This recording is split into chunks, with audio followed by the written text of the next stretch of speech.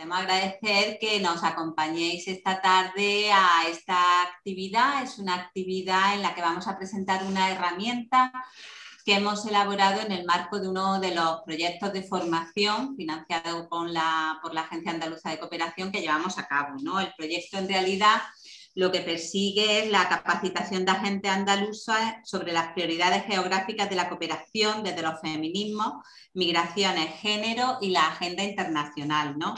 Es uno de nuestros proyectos de formación, llevamos ya más de 10 años impulsando formaciones para mejorar las capacidades y competencias de los agentes andaluces en aquello que desde Mujeres en Zona de Conflicto consideramos que es básico, esencial y sin, este enfoque o posicionamiento no consideremos que, logremos un desarrollo humano y sostenible. Entonces, desde nuestro posicionamiento, nuestra mirada y el paradigma de los feminismos, del feminismo, pues eh, llevamos ya 10 años en formaciones virtuales para, para eso, mejorar la transversalidad del enfoque de género desde su fase de identificación y dando, ofreciendo herramientas y, capacitaciones sobre, sobre temáticas imprescindibles para fomentar un desarrollo humano y sostenible. Bueno, como he dicho, esta actividad eh, vamos a presentar una herramienta,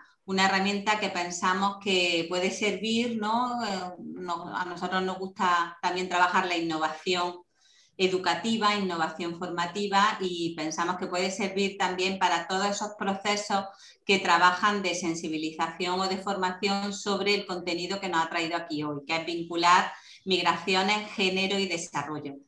Yo no me voy a enrollar más y quiero presentar un poco la sesión de hoy en la que, bueno, quiero agradecer tanto a nuestras participantes, que en primer lugar os presento a Marilu Ortega, que es la directora de la Agencia Andaluza de Cooperación, que le agradezco mucho que se haya querido sumar a esta sesión y un poco también la hemos querido que nos comparta y comente pues, el trabajo de migraciones, género y desarrollo porque, porque hay que trabajarlo desde las instituciones, los enfoques que tienen, aunque ya ha dicho, bueno, esto viene en el PACODE, pero bueno, ahora nos explicará, trabajamos desde el nivel multiactor, multinivel, entonces cuanto más gente sumemos, mejor.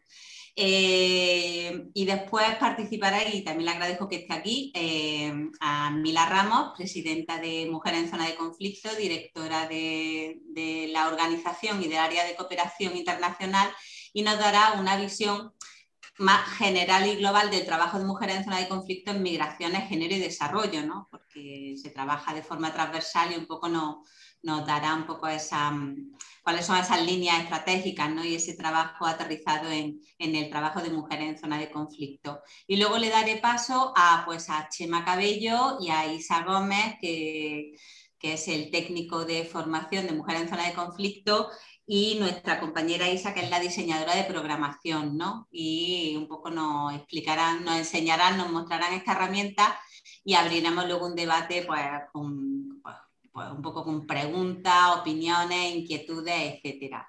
Yo no me quiero, no me enrollo más y si os parece, pues le doy paso a Marilu para que tome la palabra y, bueno, nos cuente un poco el rol de la agencia andaluza. Gracias.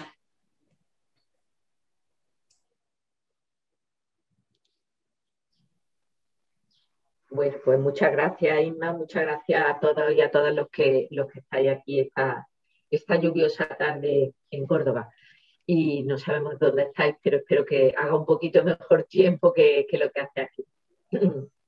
Bueno, agradezco mucho la, invitación. Me pilla, como le decía, Ima, un poquito cansada, pero bueno, siempre es bueno también encontrar espacios para compartir y poner al menos un poco de rostro los que me caben en, la pantalla. ¿no?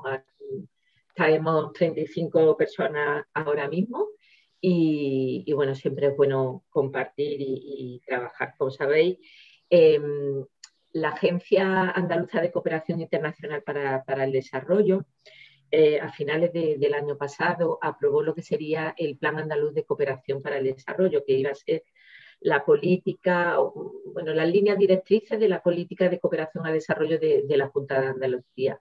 Era un instrumento del que nos habíamos dotado eh, de manera participativa y, marcaba una línea clave para trabajar en los próximos años es que es, difícil contar esto, pero bueno, marcamos una línea clave que era, vamos a trabajar en la década de la acción, que es la década que comenzaba en 2020, eh, promoviendo fundamentalmente la agenda de desarrollo sostenible. Yo creo que teníamos un marco, teníamos la ilusión, teníamos las ganas, teníamos todo. Luego llegó la pandemia y muchas cosas la ha trastocado. Este encuentro no tendría que haber sido así.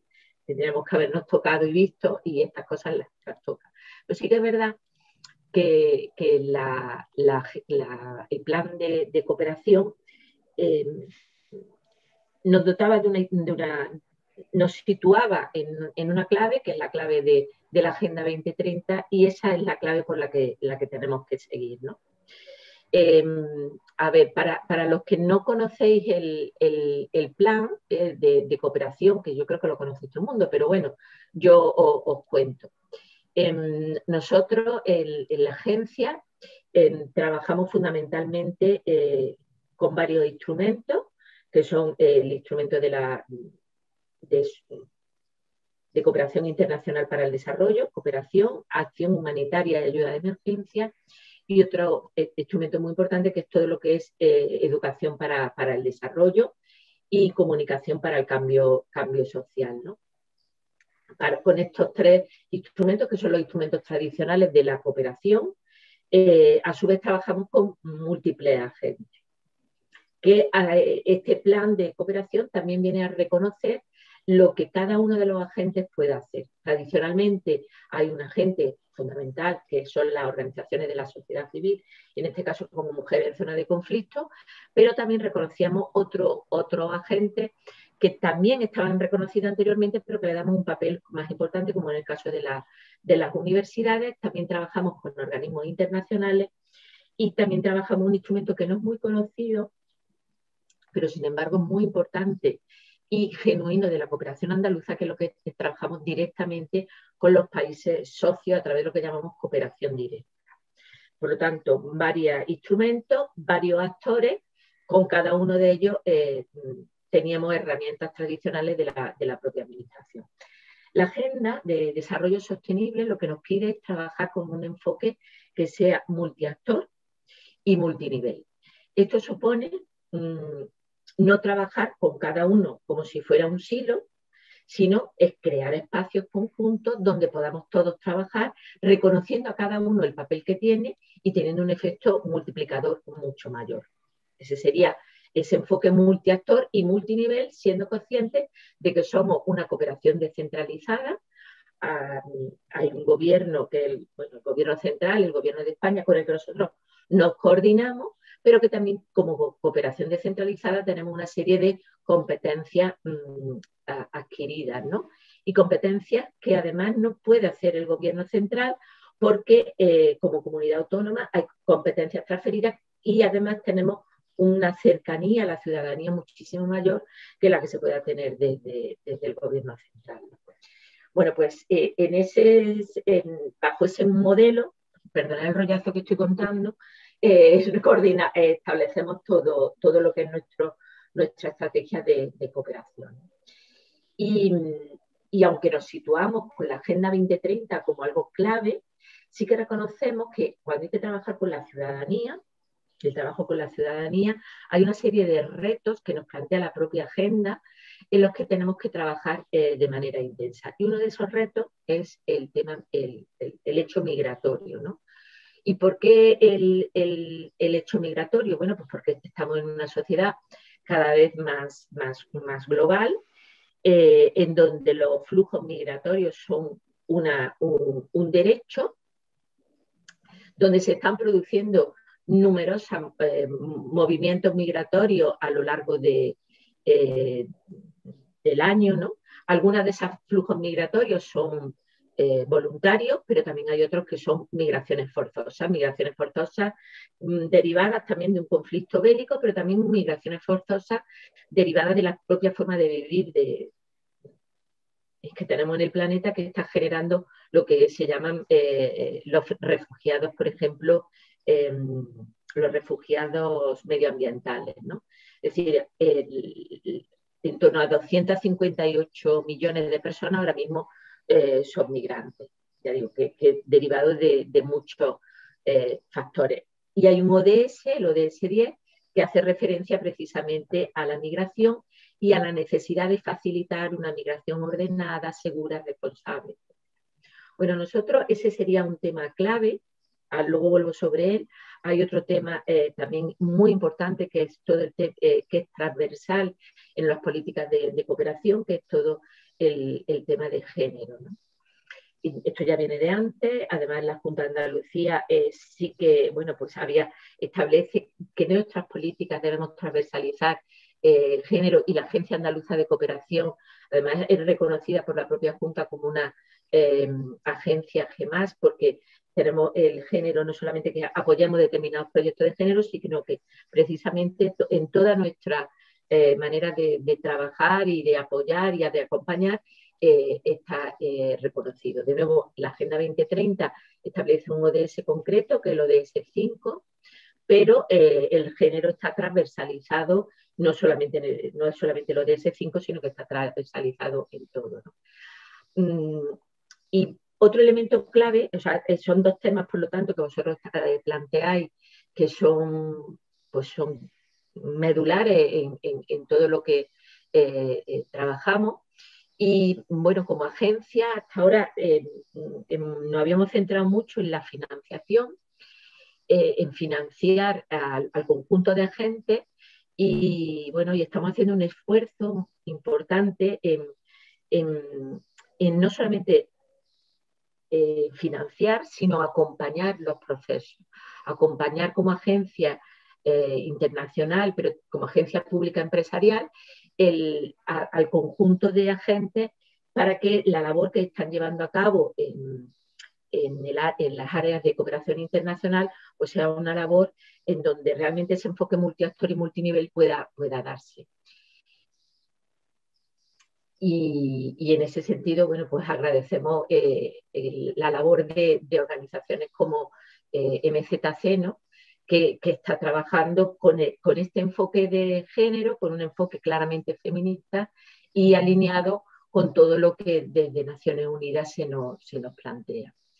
El trabajo que hoy vais a presentar, que a mí me parece súper interesante, es una cartografía sobre las migraciones con una perspectiva de género, que, va a ayudarnos a ver ese sistema de información geográfica de dónde están eh, los, migrantes, de dónde proceden, para mejorar nuestra comprensión sobre ellos. Y eso es algo muy importante, el conocer. Porque nosotros como, como agencia pública empresarial y como agencia de la Junta de Andalucía tenemos una serie de competencias con el tema migratorio, pero hay, hay otras competencias que no, no son nuestras. ¿no? como agencia sí podemos trabajar eh, y debemos trabajar el cómo se percibe la migración eh, desde eh, la sociedad andaluza. ¿Por qué? Porque queremos trabajar y nos hemos dicho, es necesario que seamos una sociedad acogida, que seamos conscientes de la realidad de los cambios migratorios que se producen forzosos o voluntarios, pero que sobre todo tenemos que ver a las personas como seres humanos sujetos de derechos a los que la sociedad andaluza también debe garantizarles eh, una, serie de, posibilidades. No podemos trabajar en otras áreas que están delegadas y son competencias o bien de, la, de otros departamentos de la Junta de Andalucía o bien del gobierno central, pero sí podemos trabajar la percepción o las actitudes sobre las migraciones. ¿no? conscientes de que si conseguimos cambiar una información que muchas veces los medios de comunicación tradicionales, las redes sociales y mm, determinados mm, mensajes mm, partidistas eh, pueden influir sobre las actitudes de las personas y generar una, una visión errónea. Y para poder transformar esas visiones, y para poder luchar contra algo como puede ser la porofobia, la xenofobia, eh, el racismo, fundamentalmente aporofobia, en palabras de, de la Cortina, pues tenemos que trabajar por, por, mm, por transmitir otra, otra realidad y otra, otra información. Entonces, en ese sentido, pues trabajamos con la Dirección General de Políticas Migratorias. Ella, a la Dirección General de Políticas Migratorias, acaba de elaborar ahora un plan de, migraciones mm, eh, la, dirección general lo que hace es coordinar al conjunto de, entidades con las que, trabajan el, tema migratorio.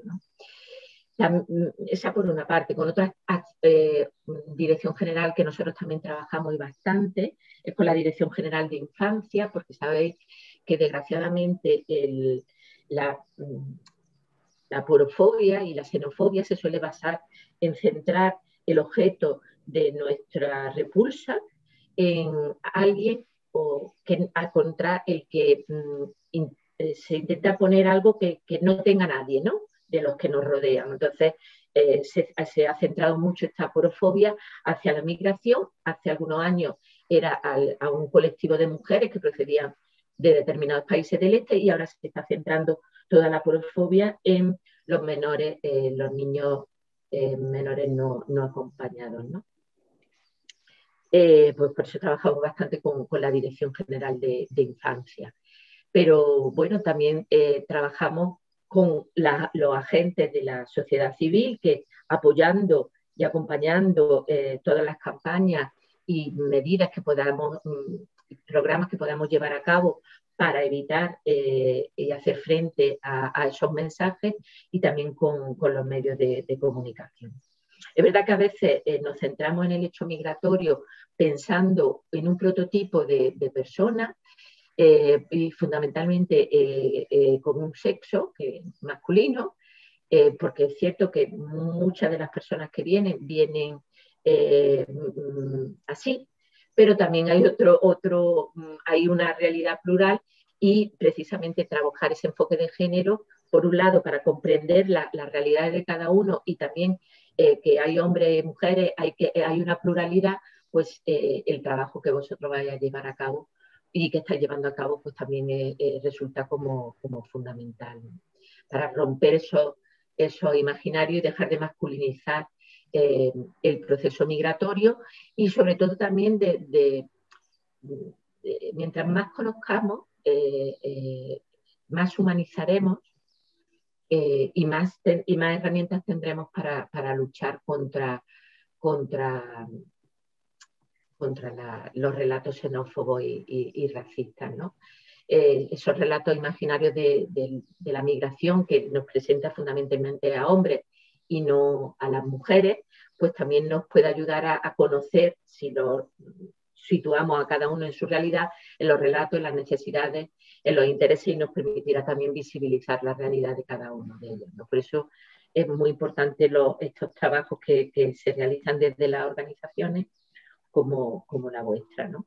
sabiendo también que no vamos a victimizar, que vamos a poner y que ponéis a, los seres humanos como objeto de derecho, eh, haciéndolos protagonistas de, su propia, eh, de su propia historia. Eh, y en el fondo, bueno, pues generando con toda esta información una sociedad más, más inclusiva, por lo menos dándonos herramientas para ello. Por ahora no tengo yo más que decir, solamente agradeceros lo que, lo que estáis mm, realizando con grandes ganas de conocer el, instrumento que, nos vais a presentar y esperando sin duda que, sea una herramienta muy útil para, nuestro trabajo. Sí, bueno, una cosa comentaros también. Eh, estamos haciendo desde la agencia dos proyectos ahora mismo, además de todo lo que hacemos con organizaciones no gubernamentales uno que acaba de terminar, pero que estamos planteando el continuar con la Organización Internacional de Migración, precisamente para romper ese, estereotipo eh, que teníamos, pusimos en marcha una campaña, Soy migrante, para romper el imaginario único del migrante. Entonces, se ha hecho una campaña donde se ha visibilizado muchísimos rostros y situaciones de las migraciones en Andalucía. Se ha presentado también con la Organización Internacional de Migraciones un estudio sobre cómo perciben los migrantes el, que seamos o no sociedad de acogida. Se ha dado formación sobre migraciones en todos los mm, centros universitarios de Andalucía y también a docentes y a políticos y, bueno, y, ha, habido también incursiones en medios de comunicación no todo lo que quisiéramos, porque es que realmente eh, que un partido haga un cartel eh, genera muchísima publicidad, entre comillas, ¿eh? xenófoba, y lo que por nosotros hayamos podido hacer con MRTV, con Canal Sur, mm, pues posiblemente casi nadie lo haya visto, aunque posiblemente nos haya costado muchísimo más que lo que ha costado los, otros medios. Pero bueno, es muy, es muy difícil combatir y, compensar esos impactos. Por eso, mientras más gente estemos compartiendo los discursos y, unos discursos bien eh, fundamentados, pues mucho mejor. Y la segunda cosa que hemos hecho también, porque eh, ya eh, em, todo esto lo pensamos antes de que fuera la pandemia. La pandemia paró, no sé si os habéis dado cuenta que el, hecho xenófobo y esa mm, focalización hacia la el, aporófoba hacia los menores no acompañados los niños y niñas eh, sin vínculos familiares conocidos, ¿eh? Eh, desapareció prácticamente durante, durante la pandemia. Hubo un poco al principio, pero luego desapareció. Nosotros éramos conscientes de que desaparecía, pero que luego volvería. Y de todas maneras, antes, sabiendo ya que ese problema está ahí, sí que hemos empezado a hacer, hicimos un convenio con el Fondo Andaluz de Municipios porque eh, a veces eh, los mensajes se centraban fundamentalmente en focalizar el, eh, el, sitio donde hay un centro de menores, donde hay niños y niñas sin vínculos familiares conocidos, a eso, en ese centro de menores donde ocurría lo más grande y lo peor. Entonces, vamos a trabajar para fortalecer al centro de menores en cuanto a la comunicación que se da sobre mm, la normalidad de estos niños y niñas que vienen con un con una mm, que son ante todo sujetos de derechos y que vienen con un con un recorrido que quieren realizar y con, ya, ya preestablecido por ellos, acompañarlos, fortalecerlos, fortalecer al centro de acogida de los menores para, evitar ese, eh, que tengan herramientas comunicativas para hacer frente a lo que se puede hacer y también trabajar con los ayuntamientos para también eh, compensar eh, y, darle herramientas para que no haya espacio para que mm, ese discurso xenófobo tenga lugar. Este proyecto quedó parado cuando comenzó la pandemia y ahora lo hemos reactivado vamos a reactivar por parte del FANSI y vendrá dando frutos. No vamos a poder llegar a todos los centros de menores de Andalucía, que son un montón, pero sin duda eh, nos va a ayudar porque va a permitir eh, unir eh, entidades públicas que a lo mejor hasta ahora no tenían tan claro ese vínculo. Bueno, bueno, vuelvo a dar la bienvenida y las buenas tardes a todas las personas que nos acompañan. Creo que estamos 49 personas ahora mismo online. Y bueno, le, Marilu ha hecho esta presentación del trabajo que se hace desde la agencia, ha puesto el acento en todos esos discursos de odio ¿no? que, desgraciadamente tienen tanto auge ahora hoy en día en las noticias y que hay muchos agentes ¿no? que estamos trabajando para combatirlos. Em, nosotros ponemos sobre la mesa esa herramienta que ahora os vamos a presentar después de cuáles son las causas, o sea, dar a conocer cuáles son las causas, los motivos variados de las migraciones y hacerla desde la mirada de género, por qué migran los hombres, por qué migran las mujeres y que, colaboren a ese conocimiento. Pero es una herramienta en el marco de una estrategia más global, de un trabajo más holístico, con una prioridad de unos enfoques estratégicos que eh, tenemos, pues bueno, le vamos a dar paso a la presidenta de Mujeres en Zona de Conflicto, Mira Ramos, directora de, la organización y también del área de, cooperación, y para que nos dé esa visión, ¿no? o sea, las herramientas que hacemos ni los proyectos no son aislados, sino que forman parte de una estrategia integral y ella pues un poco va a, un poco señalarnos ese, ese trabajo global de mujeres en zona de conflicto. Mil gracias y tu micro, cuando puedas, lo, abres, abres el micro. Vale. Pues muchas gracias, Isma. Gracias a todo el equipo de Educación para el Desarrollo por el trabajo que están haciendo, absolutamente encomiable. Y gracias a Mariluz por, sabemos que está muy liada por, los momentos que, nos ha dedicado esta tarde. Bueno, pues yo voy a contar un poco qué es lo que hacemos, contar en 15, 20 minutos qué es lo que hacemos desde MZC en migraciones es un poco corto, entonces lo que voy a dar van a ser unas pinceladas y quien quiera ampliar información, pues podemos hablar luego eh, en otro momento con más tranquilidad. Eh, por centrar el tema, eh, ¿por qué? La primera pregunta sería ¿por qué trabajamos con migraciones? ¿Por qué desde MZC trabajamos con migraciones y por qué lo trabajamos de una manera transversal? Es decir, ¿por qué en todas las áreas de la organización se trabaja en migraciones y se trabaja como un elemento primordial, fundamental y sin el cual no tendría mucho sentido el trabajo que estamos realizando?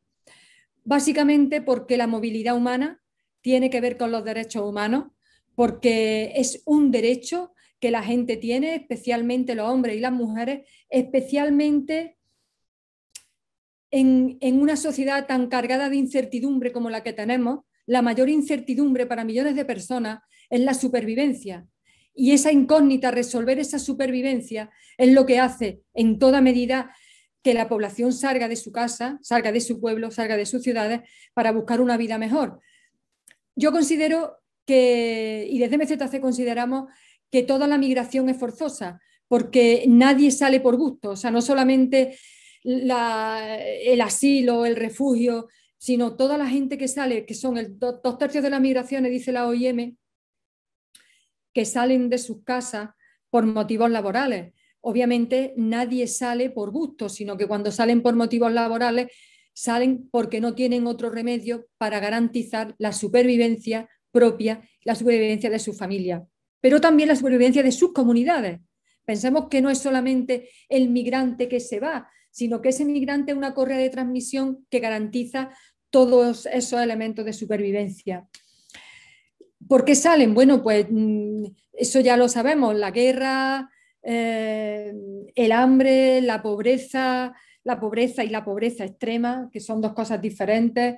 Los ponderables mm, climáticos, ya había hablado mm, Marilú sobre mm, los refugiados por, por, causa, por causa climática. En el caso en Mali lo estamos viendo, pueblos enteros que han desaparecido, que ha desaparecido más su forma de vida, con lo cual no tienen más remedio que eh, son, son migraciones dentro de los propios países eh, en, normalmente, pero, pero eso que está pasando en toda la franja del Sahel, donde pueblos enteros están desapareciendo y está desapareciendo una forma de vida, eso significa que eso está viendo unos éxodos a las ciudades donde tampoco hay forma de supervivencia.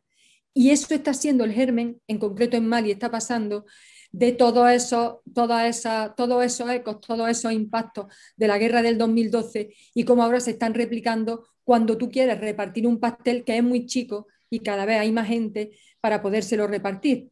Entonces, la situación es realmente complicada. La OIM, mm, en el último informe, en el del 2020, dice, en, bueno, en el caso que ahora en el 21, que es sobre, sobre la migración en 2020, dice que en el mundo hay 272 millones de migrantes, de los cuales el 48% son mujeres y el 52% son hombres.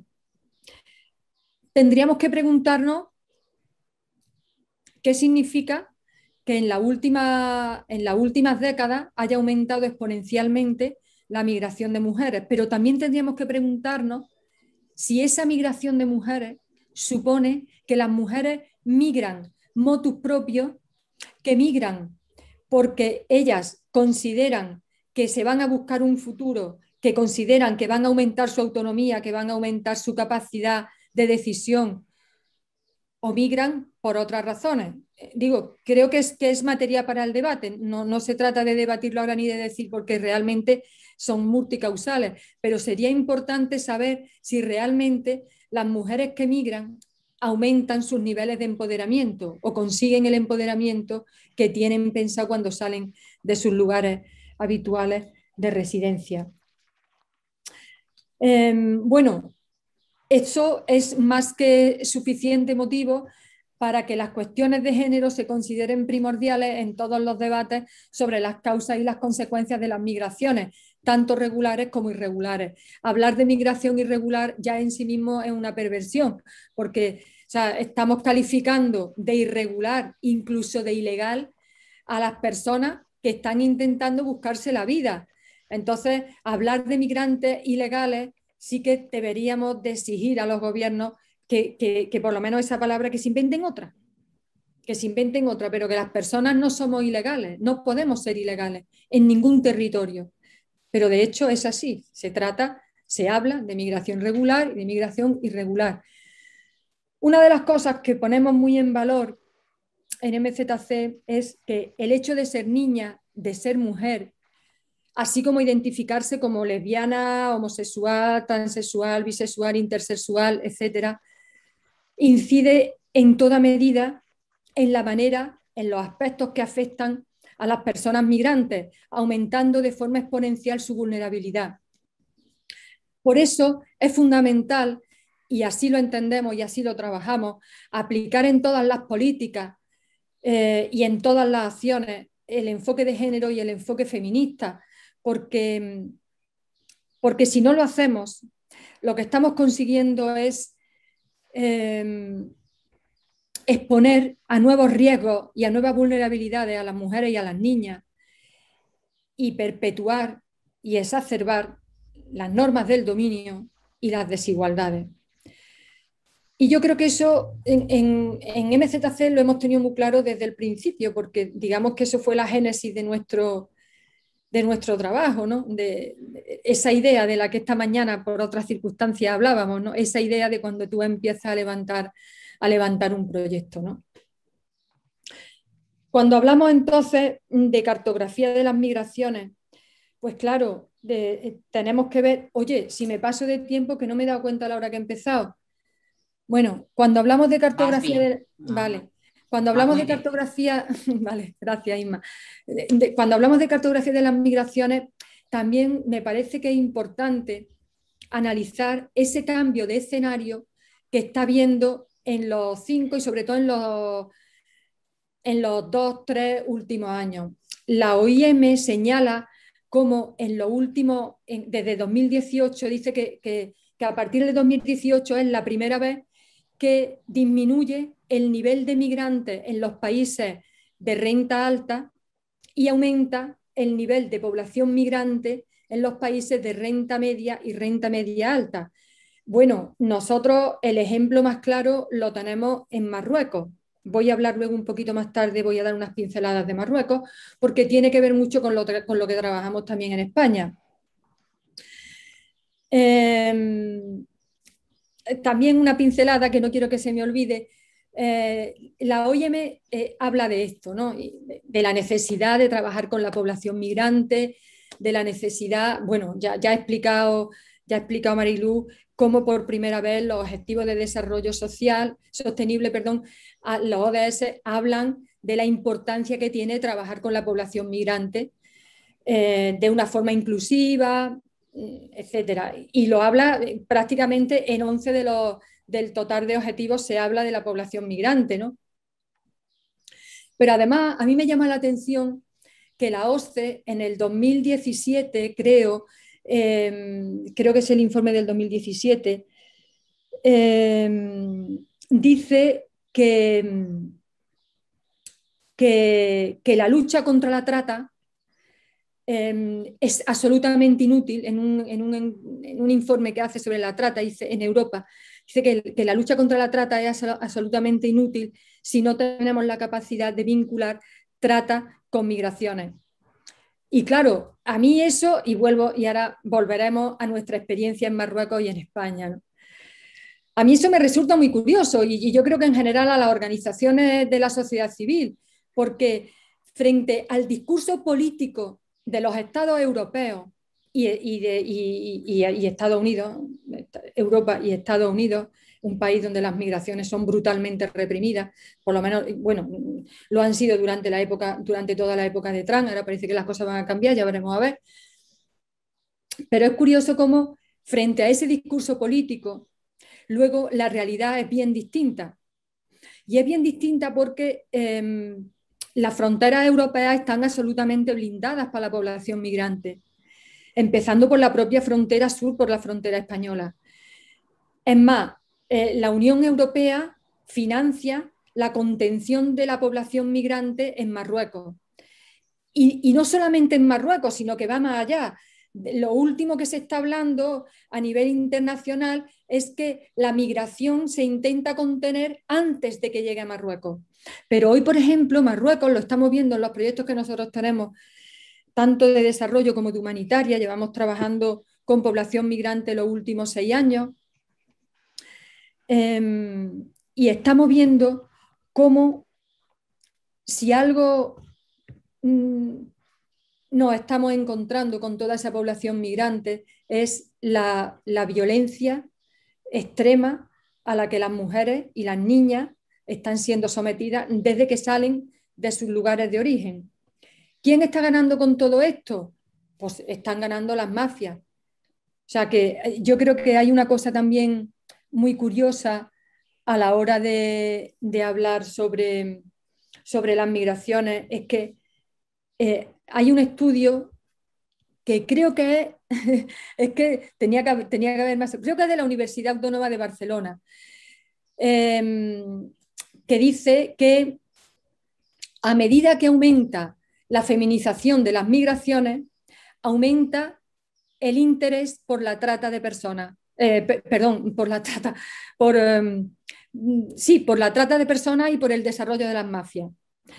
Y claro, y es normal. ¿Por qué? Pues porque desde que estamos viendo el aumento exponencial de las migraciones por parte de las mujeres y las niñas, también vemos cómo están aumentando diversas formas de trata donde los sujetos eh, de vulneración de derechos son mujeres y niñas. Insisto, eso lo estamos viendo en Marruecos. Hace la primera vez que hicimos un diagnóstico sobre cuando empezamos a trabajar trata en Marruecos, pues eh, una de las cosas que hicimos fue hablar con, el CETI de, Ceuta. Y tanto la directora de tratamiento como el director que en aquel momento había en el CETI, eh, y fueron palabras textuales, decían que el 100% de las mujeres, que eran una minoría con respecto a los hombres, que el 100% de las mujeres que estaban en el CETI eran víctimas de trata. Bueno, en el programa que nosotros tenemos desde hace pues, casi seis años ya, en, Tánger tenemos un centro de atención integral a población migrante y con un, bueno, básicamente trabajamos con mujeres y trabajamos con, niñas y niños. Y se hace atención psicológica, atención jurídica y también se tiene que hacer distribución de, elementos de primera necesidad. Eh, la identificación de víctimas se está haciendo hasta ahora la mayor identificación de víctimas que hemos hecho la hemos hecho a través de, las atenciones psicológicas, porque cuando empezamos a trabajar las unidades móviles, una de las cosas que detectamos es que antes de, tener el centro trabajábamos con atenciones móviles, antes de poder tener el centro. Ahora también en los barrios más alejados y en, el bosque, y en los bosques, ¿no? pero tenemos ya un centro allí. Eh, decía que, en la unidad de móvil una de las cosas que detectábamos, íbamos con una enfermera, bueno, pues era que todas las mujeres tenían problemas de, le dolía mucho el pecho, todas pensaban que estaban malas porque les dolía mucho el pecho, porque no podían respirar y que y todas pensaban que tenían, y digo todas, ¿eh? o sea, yo he hecho muchas unidades móviles, desde hace dos años que no voy, pues, en fin, pero el COVID lo ha cambiado todo, pero resulta que no tenían ningún problema ni de bronquios ni de nada, que lo que tenían era ansiedad. Y cuando, eh, por eso empezamos a trabajar con la psicóloga, que además es una muchacha española, que, bueno, maneja varios idiomas y, lleva tres años allí y está haciendo un trabajo impecable. Y, y así fue como empezamos a detectar los casos de trata. ¿Qué problema nos encontramos? Primero, aunque estamos haciendo una base de datos, tenemos una base de datos en España con todas las mujeres que atendemos y una base de datos que se está haciendo en Marruecos. A veces intentamos cruzar las bases de datos para ver porque muchas de esas mujeres con las que hemos trabajado en Marruecos te las puedes encontrar aquí en España. Eh, no es fácil porque se cambian el nombre o porque los tratantes le cambian el nombre, pero sí que sería muy importante ver de qué manera se pueden trabajar, se pueden, se pueden unir puentes para que realmente esa población con la que estamos trabajando se le pueda seguir la pista cuando llegan a España y de esa manera minimizar esos efectos que tiene la trata. Por ejemplo, evitar que esas mujeres sigan siendo víctimas de los tratantes, porque pensemos que en Marruecos la mayor parte de trata que se hace es trata por mendicidad y trata laboral. A las mujeres que empiezan a explotarlas sexualmente a través de la trata con fin de explotación sexual es cuando cruzan la frontera. A partir de que cruzan la frontera son distribuidas y es entonces cuando empiezan a operar en esta forma de trata. Pero las que están en Marruecos, salvo contadas, contadas mm, ocasiones, y nos hemos encontrado contadísimos casos, pero sí muchos casos de trata laboral y trata por mendicidad. Entonces, sería importante que desde, y tiro, ahora tiro ya la red a, a sería importante que desde la cooperación al desarrollo, y sé que se están haciendo algunas cosas, eh, sería importante poder trabajar esa línea, porque, porque muchas, de ellas quieren buscar el arraigo en Marruecos, que es, muy complicado también, que no es fácil pero buscar ese arraigo, que busque la población migrante, busca, hay muchos estudios sobre la dificultad que tienen las mujeres frente a los hombres para buscar el arraigo, porque también se encuentran con una serie de vulnerabilidades que son específicamente, eh, que, que, tienen que ser analizadas desde esa perspectiva de género. Pero muchas de ellas sí que quieren buscar el arraigo y de hecho ahora mismo estamos, estamos intentando tirar para adelante con un proyecto específico de empleo para mujeres migrantes. Un proyecto en el que hemos negociado con empresas de Tánger y de otras provincias para que puedan al menos las mujeres hacer sus prácticas laborales allí. Algunos no han, han hecho la promesa de, de, contratación, pero bueno, esas promesas yo quiero verlas luego así, con el contrato firmado. Pero el hecho de que se hayan comprometido a que hagan las prácticas ya es importante. Eh, cuando llegan aquí, nos las estamos encontrando a, esas que se llaman mm, migración regular, pues bueno, las tenemos en los campos de Huelva, las tenemos en los campos de Almería. En Huelva, como sabéis, estamos trabajando eh, en, un, en, un, en programas y proyectos de alta intensidad. Y están es, todas esas que se llaman población irregular, que digo que yo no me gusta ese nombre porque lo rechazo completamente, pero así se llaman. Y son las que están en esos asentamientos de Huelva, de Almería, de Granada y de otros puntos de, la geografía española, viviendo en, en, unas condiciones absolutamente infrahumanas, sin ningún tipo de atención, sin ningún tipo de servicio. Em, y continuando la suma de vulnerabilidades. Es decir, si ya, porque muchas de ellas lo dicen, eh, eh, vivían mejor, algunas, en algunos casos vivían mejor en sus lugares de origen. Entonces, emigran a un país para intentar buscar una vida mejor y lo que se encuentran es, por un lado, el rechazo por parte de la población, porque eso es un elemento, ya, ya ha dado Marilú algunas pinceladas, pero es algo con lo que nos tenemos que enfrentar, a todo ese discurso del odio y a todo ese rechazo porque, bueno, también tenemos que ver cuando decimos eh, la población es racista y xenófoba. ¿Ven usted? Depende de con quién. Porque tú no eres xenófobo porque sea negra o porque sea magrebí o porque sea tal, no. Tú eres xenófobo porque es pobre. O sea, que la xenofobia es a la miseria. El miedo es a la miseria. Ni siquiera el miedo a lo desconocido. No, el, el, problema con los menas no es que los menas, como que menas? Son niños, no son menas, son niños y tienen derecho a la protección. El problema no es que sean, que sean extranjeros, es que son pobres. Y es que vienen a quitarnos el trabajo y todo ese discurso tan, tan absolutamente manido y tan absolutamente perverso y fascista. Y lo que nos queda. Y lo que nos queda. Porque lo que viene ahora no tenemos nada más que, ver cómo están las elecciones en Madrid. Las elecciones eh, bueno, pues todo lo que ha pasado. O sea, de verdad, de verdad podemos permitir que en una democracia, en un Estado de Derecho, pasen cosas como las que están pasando en este país? Carteles como los que están saliendo en este país, donde se atenta directamente contra los derechos humanos porque tú eres un migrante, porque tú lo que quieres es buscarte una vida mejor, porque estás ejerciendo tu derecho a la movilidad libre. Yo creo que tendríamos que reflexionar sobre todo esto, sobre, sobre el, el, momento de, incertidumbre que estamos viviendo. Y en eso creo que el trabajo que están haciendo mis compañeras y compañeros capitaneados por la Isma Cabello eh, en Educación para el Desarrollo me parece extraordinario, porque muchas veces, por mucho que nos lo cuenten, eh, no llegamos a ver el alcance de la situación que se está viviendo en los países en vía de desarrollo. Eh, lo sabemos la gente que trabajamos allí, lo sabemos quienes estamos trabajando dentro del sector, pero es importante visibilizar esa situación de la población, es importante visibilizar por qué se migra, es importante ponderar todo todos esos elementos, todas esas cuestiones, porque estamos hablando de un enfoque de derechos humanos, porque estamos hablando en definitiva de que si queremos de verdad mantener unos mínimos, bueno, unos mínimos, mantener una sociedad democrática, una sociedad saludable, una sociedad en la que los derechos humanos sean mucho más que los buenos deseos, no tenemos, porque no, no hay más remedio que trabajar con la población migrante, porque si nos lo planteamos, todos en algún sentido somos migrantes. ¿Quién no tiene una familia migrante? Mi familia viene de un pueblo, de la Sierra de Córdoba.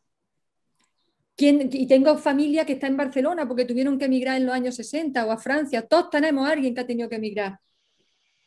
A veces pienso que ¿por qué no nos miramos un poco es la mirada al otro? que decía Susan Sontag, ¿no? Esa mirada hacia el otro. A lo mejor conviene mirar a la otra y vernos en esa piel. La empatía, ¿no? Quizás convendría, en definitiva, mirar y trabajar en favor de los derechos humanos y entender que de lo que estamos hablando es de eso, de una cuestión de derechos. Y ya está. Yo espero que, bueno, que esas pinceladas hayan servido para hacernos una idea del trabajo que estamos haciendo, más o menos. Muchas gracias. Bueno, muchas gracias Mila, de verdad creo que gracias a las dos eh, habéis planteado un montón de temas. Yo quiero recordar a las personas que, agradecer a las 51 personas ahora participantes que estamos ahora mismo en este momento. Dos cosas. Primero, una cosa de rigor, que estamos grabando la sesión, o sea que si alguien tiene algún inconveniente que, lo diga. Y en segundo lugar, que tenemos el chat abierto para que compartáis inquietudes, preguntas, dudas y que se trata de un espacio de construcción colectiva, ¿no? Eh, sé que hay por ahí. A mí me gustaría decir unas cosas a raíz de lo que ha dicho Mila. Ahora, que estoy un poquillo más despierta. tiene la palabra. Tengo la palabra, venga, va. Y también como se ha ido incorporando gente, yo creo que buscando un poquito momentos de consenso, ¿no? Eh, nosotros como Agencia Andaluza de Cooperación no trabajamos eh, la acogida al migrante aquí en, Andalucía, también por, por, aclarar, ¿no? Roles Desgraciadamente, yo creo que ese es un problema, y es que el tema de, la migración, eh, las competencias dentro de la administración está muy repartido, muy repartido, y, eso a veces genera dificultad. Yo creo que la Dirección General de Migraciones, que está en la Consejería de Presidencia, al menos está haciendo un trabajo de intentar coordinar y de ver, hay cantidad de administraciones, cada uno tiene una cosa u otra. Pero bueno, nosotros, como Agencia Andaluza de Cooperación, aquí ¿Qué trabajamos? Aquí en Andalucía trabajamos la mirada, la mirada de las personas que viven en Andalucía, sean como sean, sean de donde sean. Una mirada que tiene que ser de acogida, una mirada que tiene que ser integradora, una mirada que tiene que estar basada en, un conocimiento de la realidad y de que todas las personas, y en eso hemos insistido Mila y yo, son sujetos de derechos humanos y que a las personas hay que mirarla como sujeto de derechos humanos. Y todo el mundo tiene derecho a vivir la vida digna que quiera. Y que seamos conscientes, en la medida que vamos conociendo las causas, y gracias a, vuestro trabajo y a otras muchas organizaciones, sabemos que eh, la mayor parte de la gente cuando migra, migra porque no tiene otra opción, pero que si migra porque quiere, también tiene derecho a migrar porque quiere. Eh, bueno, entonces, el, conocer esa, esa, realidad es fundamental, trabajar, por tanto, con, esta, con nuestra ciudadanía. ¿Para qué? Para evitar la aporofobia. La xenofobia y el racismo está basado en algo que es la aporofobia. Y los discursos del odio se cimentan en, en buscar rasgos identificatorios del otro que son diferentes, que lo hacen completamente diferente de mí, de lo que yo vivo, de lo que vive mi entorno. Intentamos generar un sujeto, en este caso los niños y las niñas, pero hace unos años recuerdo que eran las mujeres que venían de Rumanía, que es que son completamente diferentes. Y lo que tenemos que hacer para contrarrestar esos discursos de odio es decir que no son diferentes, que son seres humanos, que son sujetos de derecho y normalizar y no ponernos en, el punto eh, eh, que los hace distintos, sino en, ver la diversidad que existe eh, de rasgos que hay tanto en unos como en otros y que nos hacen a todos seres humanos, seres humanos sujetos de derecho. yo también insistiría en que no demos pie a los discursos del odio. Es muy fuerte lo que voy a decir, ¿eh? pero yo insistiría en que al diccionario Larousse no le demos ningún espacio. Mm. Ninguno. Y si nadie sabe lo que es el diccionario Larousse, que se acuerde que hay otro diccionario que tiene otro. Nada. Hablemos de lo positivo, hablemos de lo que encontramos, hablemos de, la riqueza del otro, porque estos discursos del odio son muy simples y están basados en el miedo. Y el miedo lo tenemos eh, eh, vivimos en un momento enorme de miedo, miedo al paro, miedo a lo que va a ocurrir, miedo a la incertidumbre, miedo al ser humano y no podemos tener miedo al ser humano. Entonces, a todas las organizaciones que están trabajando precisamente por todo esto, démosles espacio, démosles espacio, porque además entre todas damos muchos argumentos para combatir ese discurso de, del odio. Eh, el trabajar en cooperación internacional supone, y también lo decía Mila, tenemos, pues me decía, te he echado la caña a ver si podemos hacer un proyecto en Marruecos. Desde cooperación tenemos que ofrecer posibilidades para que aquel que quiera vivir donde nació, pueda vivir donde nació. ¿Cómo no va a vivir donde nació? Si los mejores recuerdos de nuestra vida los tenemos en la etapa de la infancia, normalmente, ¿eh?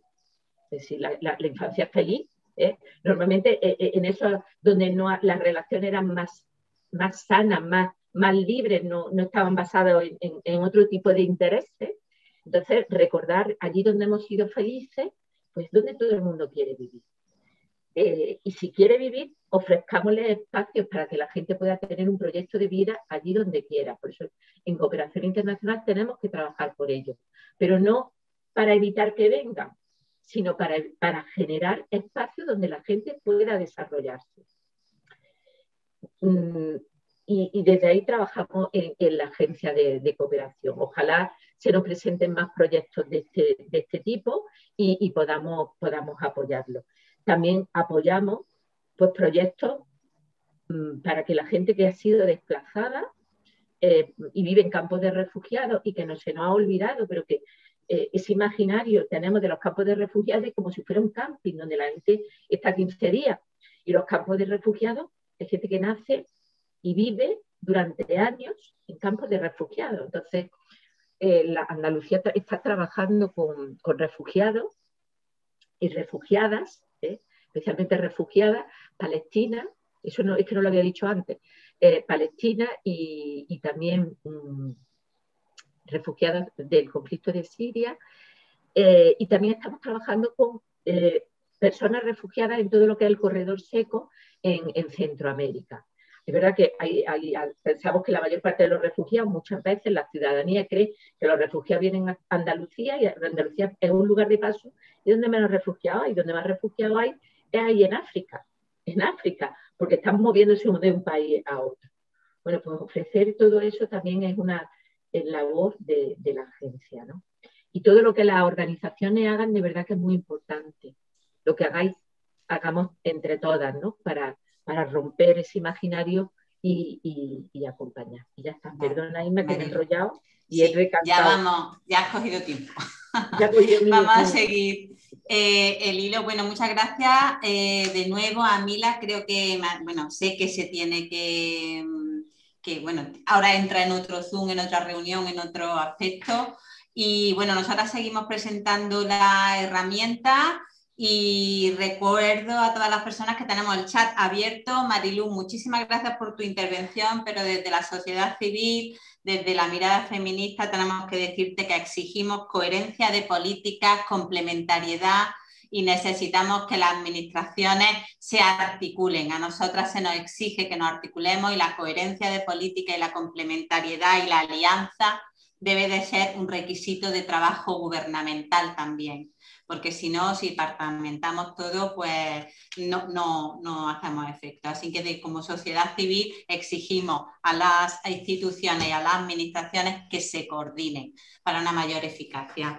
Y bueno, tenéis el chat abierto, no sé si antes de que... Mira, yo, yo ante eso diría lo siguiente, no solamente que se coordinen, sino que hay determinados temas de derechos humanos que no deberían ser sujetos de pugna partidista. Yo te digo la política debería estar coordinada, todo el mundo coordinado, y, no es así. Pero lo has dicho desde migraciones, lo has dicho, o sea, parece que cada departamento está como desagregado, está atomizada las competencias, no puede ser. Yo no era consciente hasta que he llegado aquí, que me he dado cuenta de que es terrible, ¿no? Terrible pues eh, es así. Eh, tenéis el chat abierto, compañeros. Sé que, bueno, muchas gracias Marilu, muchas gracias Mila. Sé que Mila nos tiene que, ahora dejar. Tenéis, eh, si queréis hacer alguna pregunta, alguna intervención en particular, habéis tocado muchos temas, todos fundamentales. Y, y bueno, que sepáis que tenéis esa herramienta. Antes de darle paso, pues al objeto de que nos convoca hoy, que es poner un poco un punto de arena más ¿no? en este trabajo de equipo, en este trabajo conjunto, que es el desarrollo de una herramienta eh, que esperemos que sirva eso, para dar a conocer las causas, las consecuencias, los motivos por los que desde la mirada del enfoque de género, por qué emigran las mujeres, por qué emigran los hombres, dentro de una cartografía que es una herramienta de innovación digital, de sensibilización que han trabajado Chema Cabello e Isa Gómez, que forman parte del equipo de formación de, de MZC. No sé, Mila, si quieres decir algo antes de que presentamos la herramienta. Bueno, agradeceros nuevamente el trabajo que estáis haciendo, agradecer a todo el equipo de, educación, el trabajo que estáis haciendo, la participación de Marilú, la participación de todos los compañeros y compañeras que están esta tarde lluviosa y gris. Eh, en Córdoba al menos, no sé en el resto, pero en Córdoba Marilú está cayendo tela. ¿eh? Pues eso, agradeceros el trabajo que estáis haciendo y bueno, que, por supuesto podéis contar conmigo siempre que, que yo pueda colaborar o en lo que sea. Y nada, pues en fin, seguimos, seguimos en las trincheras, no nos queda otra. Seguimos. Venga, muchas, gracias. Muchas gracias. Eh, bueno, le paso ahora la palabra a Chema Cabello, que nos va un poco a, explicar cuál ha sido el proceso de elaboración y el objetivo de, esta herramienta, ¿no? Sin que, Chema, cuando quiera. pues muchas gracias a Mila y a Mariluz porque eh, aparte de por, el conocimiento y por, el intercambio, han hilvanado el discurso que yo tenía de silvanado. Entonces, han, abierto la ruta por la que yo seguí. Eh, presentamos una herramienta, eh, Isa y yo, como caras de las que estamos aquí moviéndonos, pero esta herramienta en realidad es una construcción conjunta de conocimiento, es una de las bases que tiene el, eh, la estrategia formativa y la estrategia de, educación de, MZC. Eh, antes hemos dicho, antes Isma ha dicho que los proyectos se engloban, se, articulan hacia una estrategia concreta y esta herramienta es parte de un proyecto que también va, por defecto, por definición, hacia esa estrategia. Entonces, Eh, la herramienta es parte de un proyecto que se está llevando desde MZC con la financiación de la Agencia Andaluza de, Cooperación Internacional, eh, basada sobre todo en la capacitación de agentes para que ah, tengan en cuenta y analicen desde el enfoque de, género y los enfoques feministas las prioridades geográficas de la cooperación, hemos hecho una especie de mezcla, de, tamiz en ese sentido, esa era la propuesta, y a partir de ahí, a partir de ahí se propusieron, eh, digamos, tres puntos geográficos donde analizar la realidad. ¿Qué ah, aportaciones se puede tener, la, puede tener la cooperación andaluza y, la gente andaluza a la hora del trabajo desde América Latina desde el África subsahariana y desde, mm, digamos, el norte de África. Pusimos esas tres zonas mm, y, sobre eso se han construido unas formaciones con personal experto en el cual, en, dichas formaciones, se han aportado distintos enfoques eh, geográficos, distintos enfoques de actuación social y sobre todo de las aportaciones de los feminismos que desde esos lados se tienen. Entonces, em, los feminismos latinoamericanos, el aporte que tienen de los feminismos africanos, eh, el papel de, de la, eh, los intercambios que existen sociales y demás, y como aspecto fundamental, como aspecto fundamental, están las migraciones. Y migraciones, la palabra migraciones está tomada a, adrede. Queríamos poner en el discurso no migrantes, porque ahora, como habéis dicho vosotras, eh, tanto Mila como, como Marilu, como han dicho, eh, se está poniendo el acento en la, persona, en el migrante, para culpabilizar, para eh, señalar, para mm, marcar a, a, la persona. Y nosotros desde MZC queríamos analizar los procesos migratorios desde el enfoque de género. Y los procesos migratorios o la movilidad humana es, como habéis dicho, tiene dos características. Una, que es algo natural al ser humano desde la historia y que es un derecho humano, que es un derecho humano. El moverse o incluso el no moverse es un derecho humano. Eh, está dentro de la discusión de la no movilidad humana. Entonces, eh, por el tema de, que como mencionaba Mila, eh, de mantener y, potenciar las comunidades de la zona. en, este pequeño, en este pequeño trabajo, en este pequeño camino que hemos ido siguiendo con el alumnado de los cursos, eh, y con el profesorado, con, el profesorado, eh, cuando detectamos el, cuando diseñamos el proyecto, se nos ocurrió, locas que estamos, eh, hacer una cartografía de migraciones a nivel muy macro. queríamos conocer todo y queríamos saber todo y demás. Y entonces lo que vimos es que realmente lo que tendríamos que analizar son las migraciones, el hecho de, las migra de las migraciones. Eh, las migraciones, las migraciones, y por eso el plural, eh, son eh, es algo complicado, es algo que no tiene una sola causa, que ya habéis dicho, que ya hemos, dicho por aquí. Marilú ha, mencionado los conflictos bélicos, Marilú también ha mencionado el medio ambiente, Mila ha, mencionado la pobreza. Cuando se hablan de migraciones, tenemos que ver que las migraciones, que las migraciones no son, o, no que no sean, tienen muchas causas y la gente migra por muchas causas. Pero a eso le añadimos nuestro enfoque feminista y nuestro enfoque y el, análisis de género, que esas causas afectan distinto a hombres y a mujeres.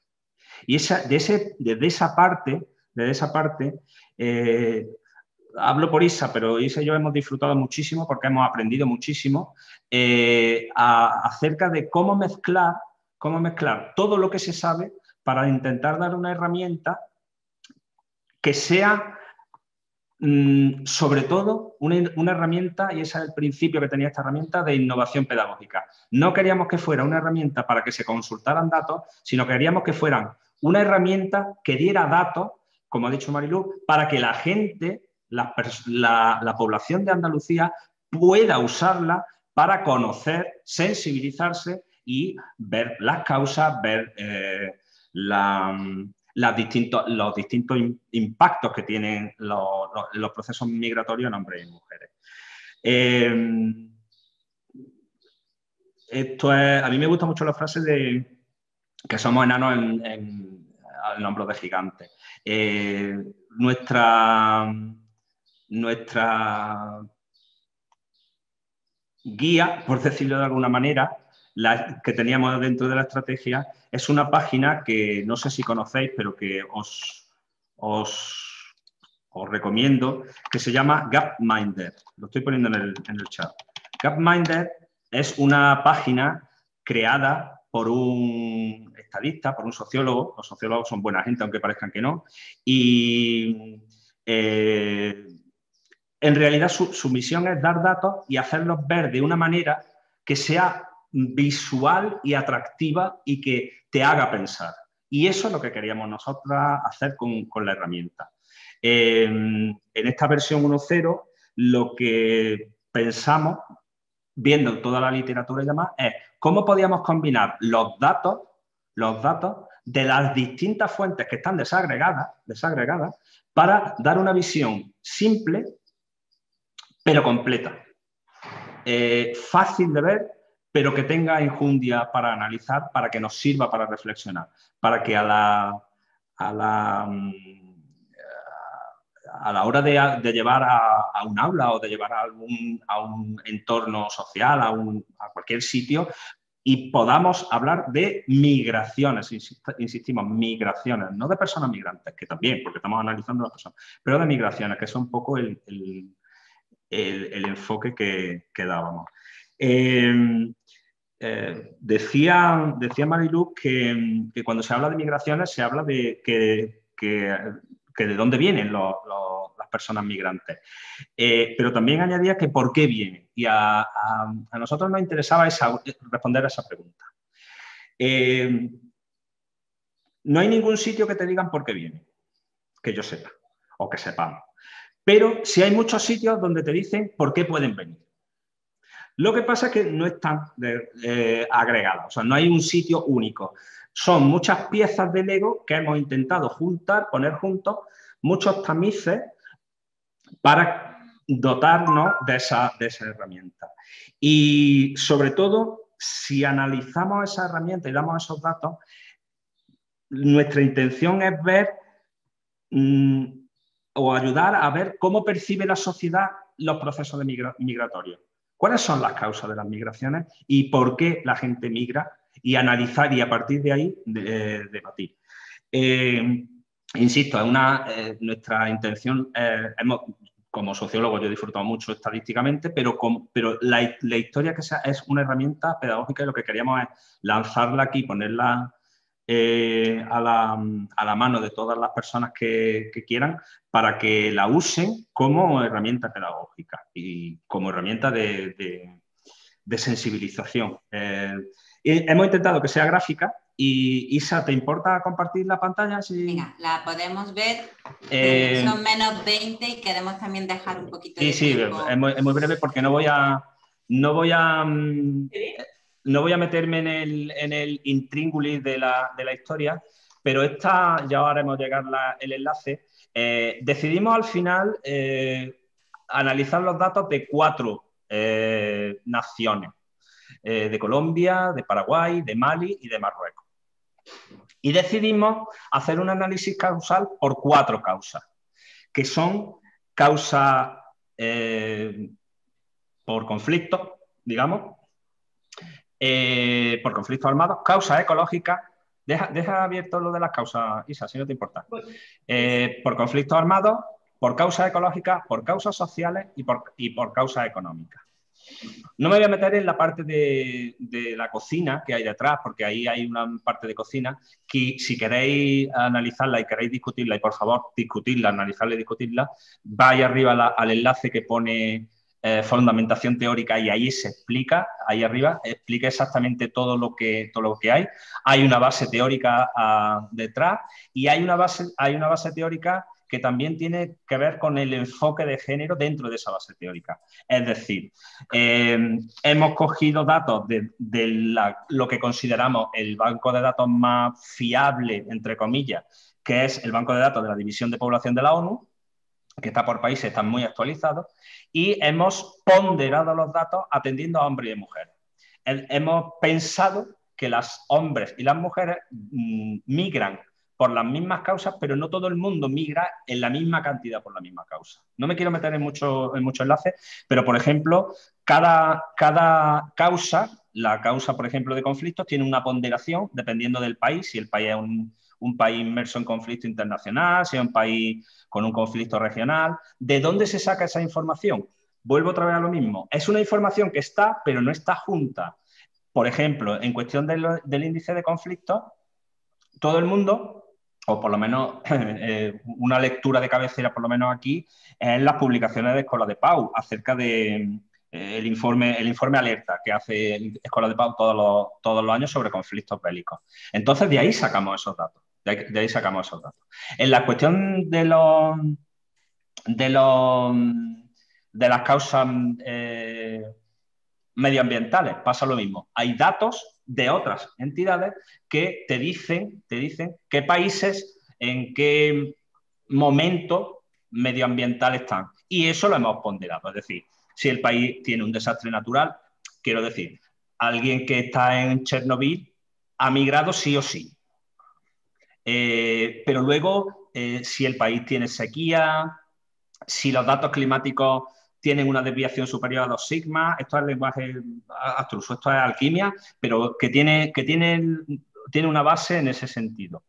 Y eh, cada, cada dato lo hemos, lo hemos dividido atendiendo a hombres y a mujeres, porque cada ponderación es distinta para hombres y para mujeres. Por ejemplo, cuando hablamos de causas sociales, hay un índice que se usa habitualmente, que es el índice de desigualdad de género, que lo que hemos hecho es aplicarlo aquí. El índice de desigualdad de género, y eso responde también a una historia que tiene, que decía Mila anteriormente, cuando, cuando hablaba Mila del empoderamiento, el índice de desigualdad de género es un índice que, calcula eh, la desigualdad de género que existe en un país atendiendo a tres aspectos fundamentales, que son salud reproductiva, empoderamiento y participación de la mujer en el mercado de trabajo. Con esos, eh, con esos datos cocinados hemos hecho un, análisis simplemente poniendo la ponderación de cada país.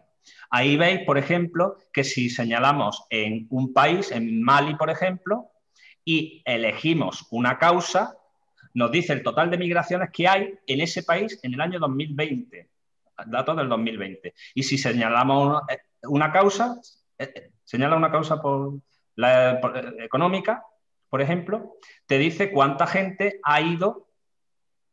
Ah, bueno, ahora económica, exacto. global. Esta es la global, la global y se supone que por causa económica del total global de Mali han, han ido 92.747, de los cuales, si vais abajo, hay un 54% de hombres y un 46% de mujeres.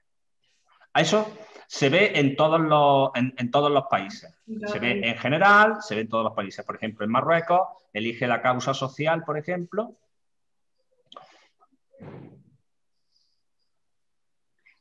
Y en Marruecos dice que hay 21.000 personas, de las cuales un 52, 48%, un 52%.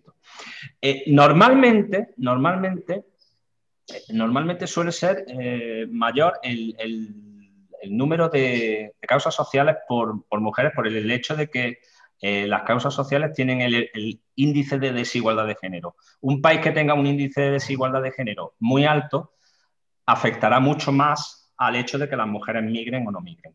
Todo esto, todo esto, en realidad, en realidad, lo único que, nos da datos es para lo siguiente, que es lo, que, lo que creo que es importante. Eh, bueno, eh, como, como está haciendo Isa, eh, en las causas te dicen cuál es el, cuando seleccionas la causa, te dice cuál es el, el porqué ¿no? que, hay. Insisto, todo, esta, toda esta, todo este cálculo está en la parte de fundamentación teórica. Pero lo importante no es esto, lo importante es que esto se use para cambiar de pantalla, si no te importa, a la, a la parte de, de, pedagogía. A la propuesta. Bueno, ahí tenéis los enlaces, que son los enlaces de toda la bibliografía que hemos hecho, y ahí tenéis toda la bibliografía que hemos usado, todos los datos que hemos tenido, y ahí tenéis una propuesta pedagógica que hemos hecho eh, a la hora de eh, usar eso. Esto está muy, muy sacado de Gapminder. Gapminder tiene una, una historia que te propone una, te hace una propuesta pedagógica para que con los datos pienses cosas y analices cosas, ¿no? Pues entonces hemos creado una, actividad, tanto online como eh, presencial, para que quien sea, quien quiera, pueda mm, plantear, analizar por qué se migra de dónde se migra y eh, qué, afecta, por qué afecta a distintos hombres y a mujeres las migraciones. Hablar de las causas de las migraciones significa analizar las migraciones, ver que las migraciones son un proceso natural, un proceso de derechos humanos y eh, cimentar un poco la estrategia educativa y formativa que, teníamos. Esta es una versión 1.0, queríamos eh, llegar. Eh, dejo Isa, eh, lo mismo que yo particularmente he disfrutado con la parte de, datos y demás, Isa, y no, hemos vuelto locos con la parte mecánica. Le dejo un, cinco minutitos para que os hable también de esa historia eso, muchísimas gracias por eh, ubicar el contexto de, la herramienta y demás. Y, buenas tardes a todos y a todas. y simplemente pues comentaros un poco lo que ha dicho el compañero, lo que ha dicho Chema, que eh, para reflejar, nuestro objetivo era reflejar de una manera sencilla todos esos datos que a veces encontramos y que, y, que sean digeribles de la mejor forma posible. ¿no? Entonces nos parece que una manera muy didáctica es utilizar eh, una cartografía.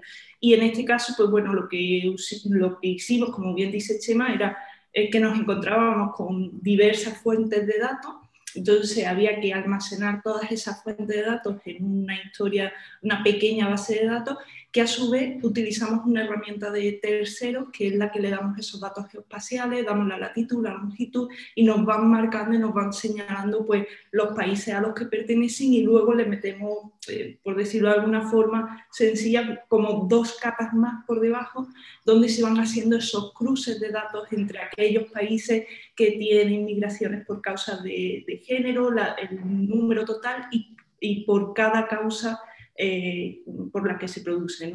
Entonces, pues bueno, la idea, esto como bien dice Chema, es una versión 1.0 y, bueno, evidentemente esto puede ser todo lo inteligente que queramos votarlo y, lo ideal es tirar de una fuente de datos estable que sea pública que o bien sea una herramienta propia o bien sea una herramienta a la que nos conectemos, pero que esos datos, que eso es una problemática que nos encontramos mucho, que esos datos están siempre muy desagregados por la red. Entonces, centralizar esos datos y, que de ahí se consuman los datos para cualquier entidad, sea meseta, sea o no, pues es una, es una apuesta. ¿no? Entonces, ese es un poco este el, punto de partida y, hacia donde nos gustaría pues, ir. ¿no?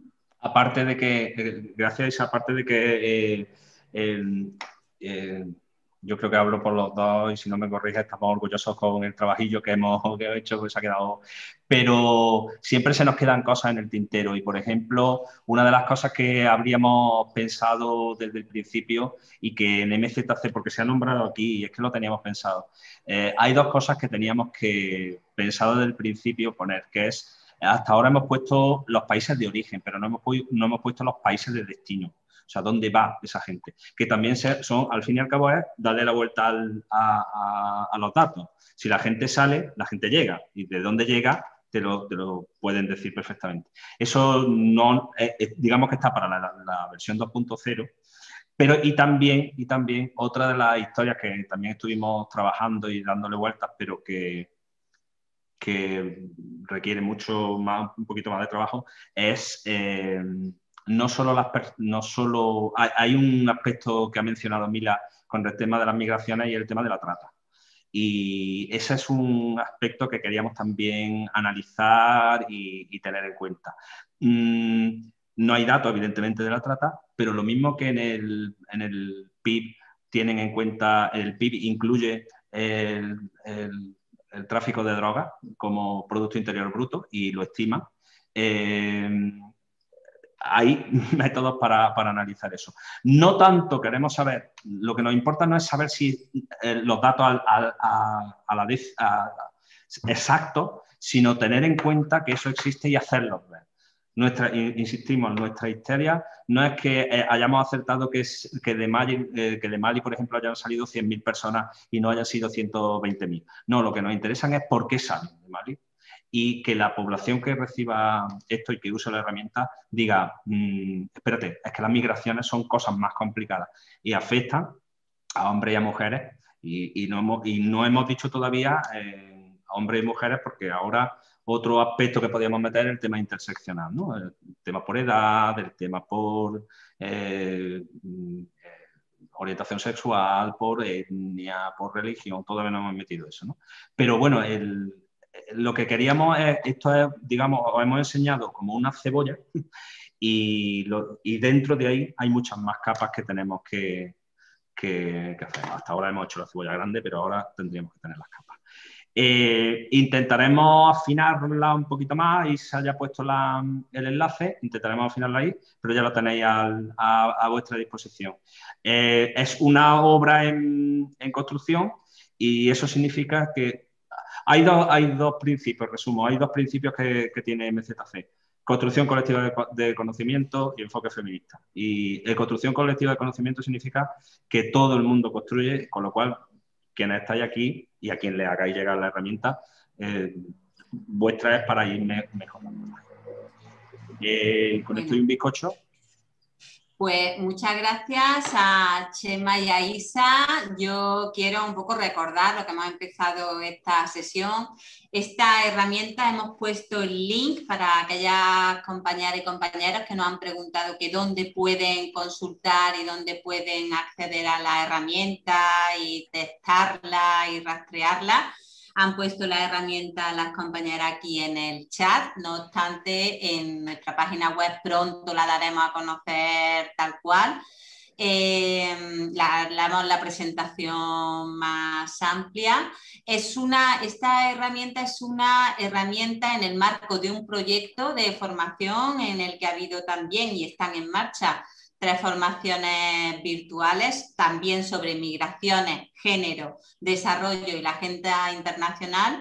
Y, yo también quiero decir que, bueno, que es una propuesta pedagógica, a, lo mejor algunos compañeros o compañeras habrán dicho, ¿por qué Colombia, Paraguay, por qué Mali, por qué Marruecos? ¿no? Pues que son justamente los países en los que mujeres en zona de conflicto trabajan, ¿no? Eh, desde el área de, de cooperación. Entonces, esa coherencia de también dar a conocer eh, el trabajo de nuestros proyectos, nuestros procesos de cooperación, de acción humanitaria, es lo que desde el área de educación nos ha llevado a, priorizar, eh, sistematizar toda esta información en esta cartografía, pero dentro de esa cartografía es, yo creo que es un, primer capítulo ¿no? de otros que vamos a intentaremos seguir construyendo, ¿no? como han dicho también los compañeros y las compañeras. Y lo importante y fundamental, y es muy de agradecer, es que sistematiza de una forma muy clara muy sencilla y muy directa, para eso su potencial pedagógico,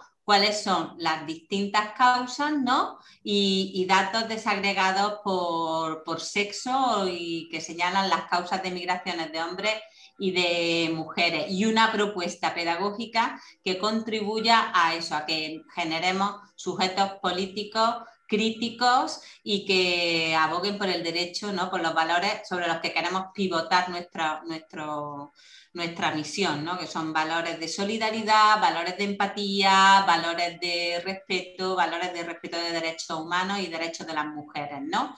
Y quien quiera pivotar sobre otros derechos, pues tener su espacio, obviamente sobre otros discursos.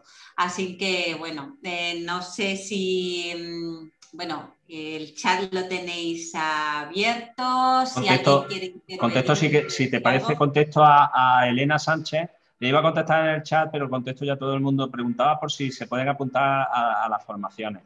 A estas que hemos mencionado en concreto, no, pero eh, MZC no para con el tema de las formaciones. Eh, a todo el mundo que esté interesada en, eh, aumentar la capacidad o, formarse en alguno de los aspectos que tiene, yo aconsejo que visite habitualmente, cuando digo habitualmente cada semanita, eh, la página de MZC donde vamos a poner todas las ofertas formativas que estamos planteando.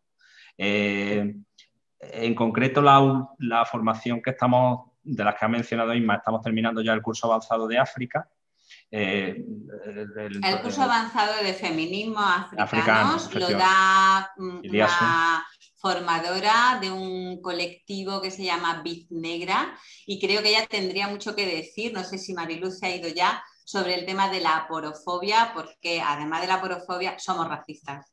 ¿eh? Y, ella lo, expone, lo expone en el curso, Mariluz, estás ahí todavía, ¿no? Pero que creo que además a estos colectivos hay que darle voz, o sea, son un colectivo de mujeres eh, subsaharianas, ¿no? y ellas se exponen muy bien desde, desde, la mirada de la propuesta feminista, que, obviamente la aporofobia, que es el término de la cortina, ¿no? o sea, que no nos gustan los pobres, pero que también poco no nos gustan ¿no? la gente que es de otra raza. O sea, que, hace esa diferencia en la formación y, es interesante, ¿eh? que además de, de, no gustarnos las personas pobres, tampoco nos gustan las personas que son de otro color, aunque sean ricas. Pero bueno, es, un debate, es un tema para el debate. Y no es por vender las formaciones, pero aparte eh, es que son muy divertidas.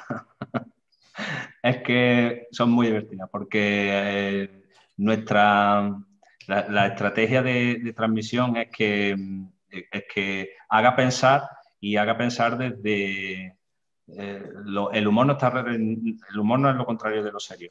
entonces pensar hacer pensar, por eso la estrategia comunicativa, la estrategia formativa, la estrategia de sensibilización de MZC pasa por, la gamificación, por la herramienta básica, herramienta de, consulta, por el, por el, Lego, más, que... Eh, nuestra idea es como cuando, no sé si habéis tenido la experiencia de regalarle a una persona bajita de edades provestas, que decía un niño o una niña, un regalo y el niño y la niña jugar con, la, con el cartón, no con el, con el de este. Pues lo, que queríamos es que sea una cosa útil, que sea algo útil, que sea algo eh, que te haga pensar, que haga reflexionar. Eso significa que te hace posicionarte políticamente, está una, un proceso. Eh, sensibiliza, conoce, piensa y actúa. Y esa es un poco la, las tres estrategias. Eh, entonces, por eso, contestando un poco a Elena, contestando también a, las formaciones, pues por ahí viene. Bueno, eh, no sé si alguna persona quiere hacer una pregunta o alguna intervención pues eh, vamos a dejar estos minutillos antes de, volver a daros las gracias de verdad por atender a esta invitación que hemos hecho de presentaros la herramienta. Os invitamos a que entréis en el enlace, a que la testéis, a que nos devolváis impresiones, Em, si la utilizáis, mejoras, propuestas de mejora, que ya, ya sabemos que al equipo se le ha ocurrido muchas, ¿no? Pero bueno, creemos que es un poco la primera, ¿no? La primera versión de una que esperamos seguir construyendo, que sea más grande y, bueno, que rastreéis también esa propuesta pedagógica que tiene, las fuentes de documentación, la herramienta en sí, la propuesta pedagógica que la acompaña, porque el objetivo del área es eso, ¿no? Un poco de facilitar ¿no? herramientas y capacitaciones que mejoren las competencias de las muchas personas que, eh, que estamos no solamente trabajando, sino convencidas de, que ah, debemos de hacer un mundo mejor, un mundo de, donde los respetos humanos no sean, los derechos humanos no sean un papel, sino que realmente se lleven a cabo. Así que creo que es el momento. Muchas gracias, no sé, gracias a todos y a todas las personas que nos habéis acompañado. Mariluz, gracias de nuevo ¿eh? y seguimos construyendo, seguimos construyendo entre todos y entre todas.